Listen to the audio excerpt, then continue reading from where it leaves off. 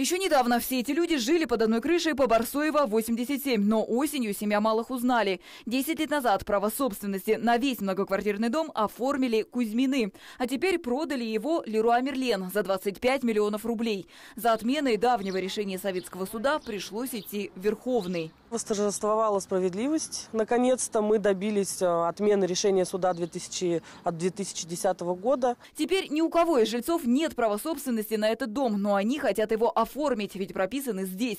Уже после этого попытаются признать сделку купли-продажи недействительной, а границы участка нарушенными. Раньше границы э, дома находились здесь. На данный момент забор кто-то перенес, участок сильно уменьшился. Вместо 18 соток за забором всего 5. Казалось бы, какая разница, ведь здесь никто не живет. Но она есть для тех, кто купил участок. Сейчас вся территория под строительство разбита как бы на два участка. На одном, как мы видим, уже идут работы, а вот на втором делать ничего нельзя. На дом суд наложил обеспечительные меры. Это значит, ни снести его нельзя, ни что-либо построить на этом месте. Малых готовят иск по уточнению границ участка. Если Фемида окажется на их стороне, то обеспечительные меры могут наложить уже на 18 соток земли. И даже охрана здесь не поможет. Здесь частная территория, мы охраняем.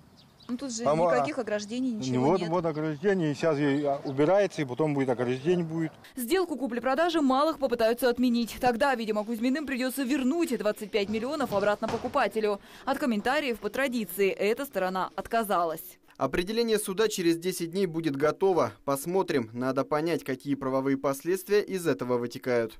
А правовые последствия могут быть серьезные, ведь глава семейства – сотрудник Федеральной службы охраны. Здесь уже усматривается фальсификация доказательств, это подтусовка. И у нас уже имеется прямое основание для обращения и военной прокуратуры. Но главный вопрос – отразятся ли судебные баталии на строительстве гипермаркета? Насколько я в мере помню, особых вроде проблем в этом моменте мы, кажется, не испытывали. Мы, как у нас был запасной вариант, что что-то произойдет, то есть, да, то у нас был запасной вариант решения данного вопроса. Если не критично.